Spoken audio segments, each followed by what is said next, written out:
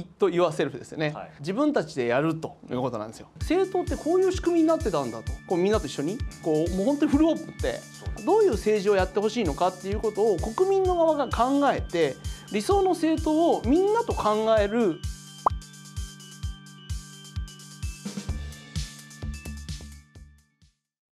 令和の時代のスタートに合わせて新しいアプリを作りました。この度神楽という名前のアプリを作り皆さんのスマートフォンで利用していただけるようにシステムを組みました。CGS や医師改革大学政党 DIY それから龍馬プロジェクトといった私が関わる活動の情報を毎日無料で皆さんに配信しています。詳しいダウンロード方法は動画の説明欄に書いてありますのでそちらの方からダウンロードしていただきぜひ様々な情報を集めていってください。登録をお待ちしています。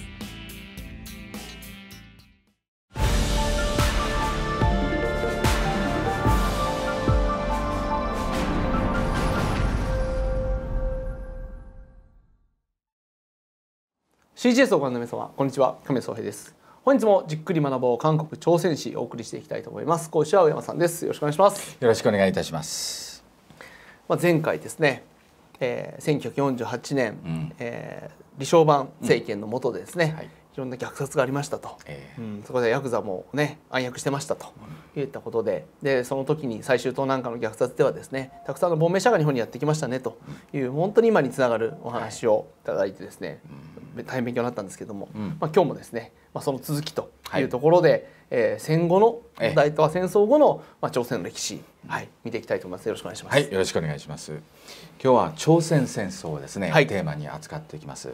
あの朝鮮戦争というのはもう皆さんご存知の通りですね法的には休戦状態であるわけなんです、はい、終戦されていないわけなんですね、はい、ですからこそこの前のですね2月のハノイ米朝首脳会談ではですね、はい、この朝鮮戦争の終戦宣言が出されるのではないかという懸念があったわけなんです。まあ、トランプ大統領がですね北朝鮮やこれ中国も求めている、はい、朝鮮戦争の終戦宣言を出してほしいと、はいうん、この求めに応じるのではないかというようなですね、うん、譲歩するのではないかという懸念があったわけですけども、はいうん、私もですねひょっとしたらそこまで行く可能性がなきにしもあらずなあらずかなということで考えていました。もしこの終戦宣言が出されてしまいますと、在韓米軍が、あこの朝鮮半島にとどまる大義名分というのが失われてしまうわけです。はい、平和になったんだから、うん、在韓米軍はもういなくていいでしょ？と、半島に。こういう中で在韓米軍が追い払われてしまうことになればですね、はい、我が国の安全保障にとっても一大事でありますね、うんはい、ですからこの終戦宣言というのは安易に出すべきではないということは私も考えていたわけです、はい、まあ、結局トランプ大統領の英断でですね、ああいう形で席を蹴って、うん、えー、この米朝首脳会談は決裂ということになりましたね、はいうん、私はこのトランプ大統領は非常によくやったと、うん、素晴らしい決断をしていただいたと。うん。もうこの妥協するんじゃないのかなというメディアのですね予想も私もそういう予測もしていたんですが、うん、結局はこういう形にですね、はい、最後してくださったというのはですね、うん、日本にとっても非常にこれは良かった。私はトランプ大統領をですねあの支持をしたいとい。うふうに思いますね。はいはい、そしてこの朝鮮戦争とは一体ではどんなものであったのかという解説をですね、はい、してまいりたいと思います。1950年6月25日午前4時にですね約10万の北朝鮮軍が突如北緯38度線を越えてですね、はい、侵攻してくるわけです、うん、この日はね日曜日だったんですそして農繁期のためですね帰郷していた軍人も多かった、はい、ほとんどこの軍の省庁が機能していなかったような状況、うんはい、わざとその北朝鮮はその日を選んだわけなんです。うん。はい、で政府の首脳部も北朝鮮軍が攻めてくるなんてね、そんな想定を全然しておりませんでした。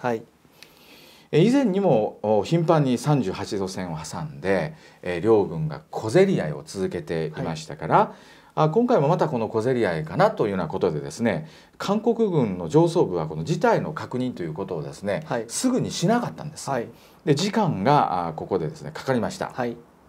で、えー、彼ら韓国軍は防衛線を次々と北朝鮮に突破されて初めて戦争が始まったんだというように気づいたわけなんです。なるほど。で大統領のイースーマンにですね報告が挙げられていくわけですが、まあ、この日は日曜日の朝ですね、えー、イースーマンもくつろいでいたわけなんです。はい、で軍部から第一報ですね、えー、受けたのは侵攻から6時間も経った 午前10時なんです。大統領に上がってきたのは、はい、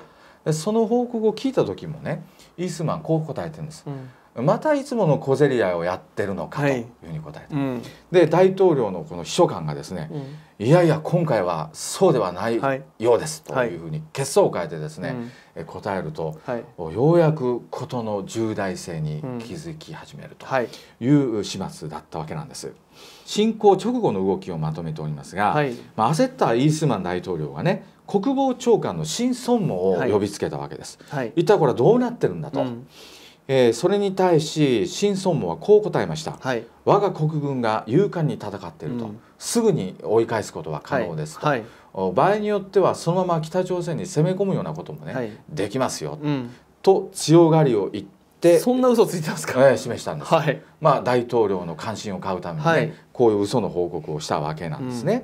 まあ、実際にはもうソウルに迫る勢いであったにもかかわらずこういうことを言った、はい、でイースーマンもねこの軍事には疎かったんです、うん、文民出身ですから、はい、で彼のその新孫門の報告を丸飲み鵜呑みにした、まあ、そそうですよね、うん、はい。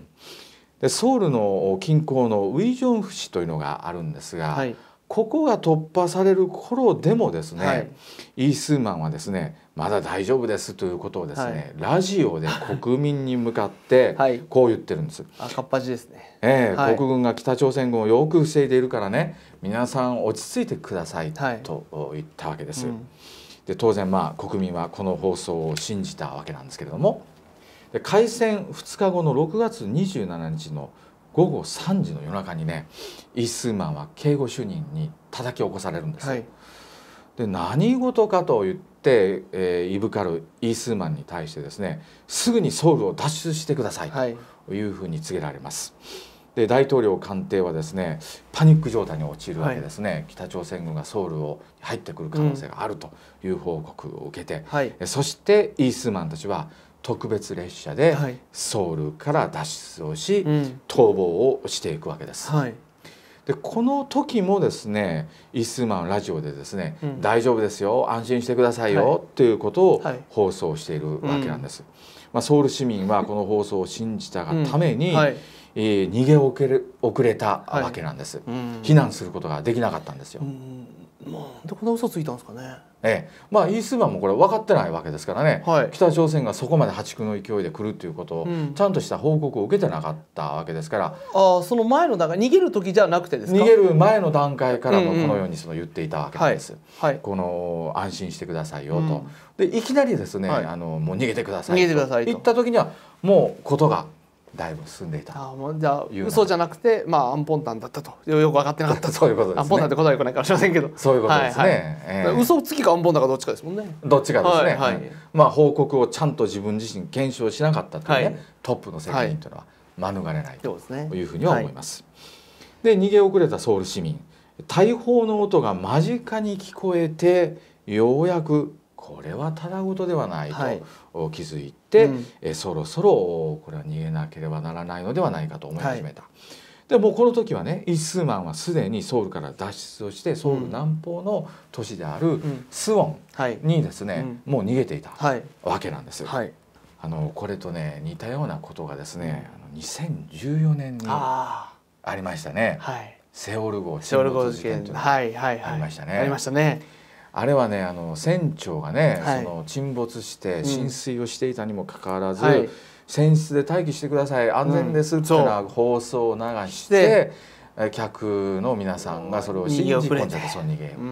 自分だけ先逃げちゃったそう。挙句にこ自分だけ逃げてね、うん、で避難誘導に当たるべきこの船長が自分だけ逃げた、で結果この修学旅行生が293人の若い命がね、はい、失われた、うん、まさにこの歴史は繰り返すとい。うべきでしょうかね。はい、はい、さらに話を進めてまいります。ソウル市民は戦争がないと信じていたんですが、うん、まあ、その理由としてね、はい、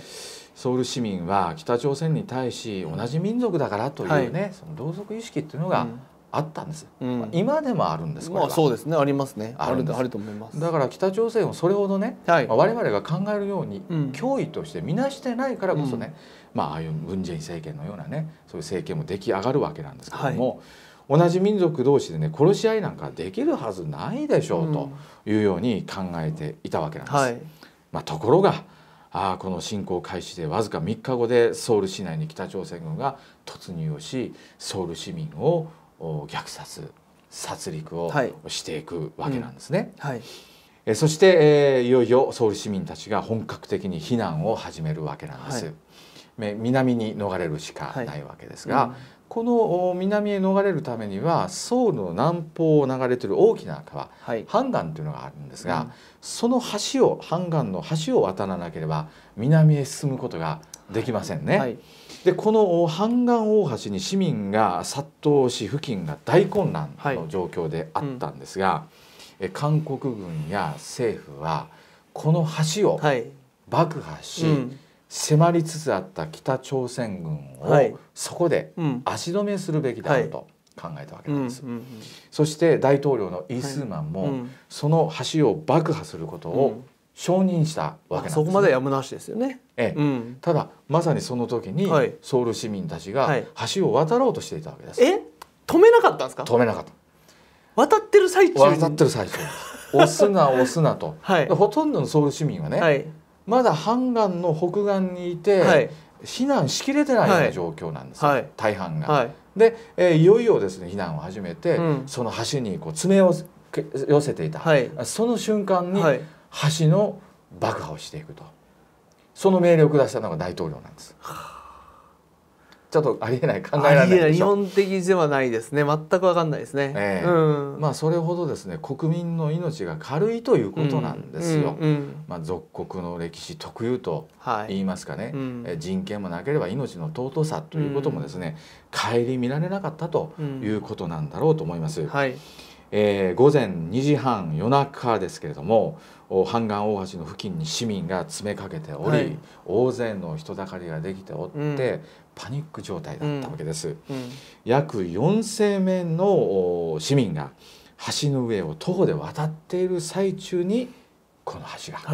爆破されて、はい、橋の上にいた市民500人から800名が爆死したということなんですね。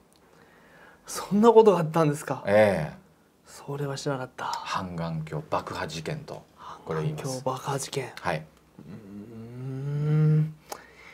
イスンマンやってますねいろんなことを。えー、はい。まあこれは本当犯罪者ですよ。こんなこといやまあねあの李承晩政権の時に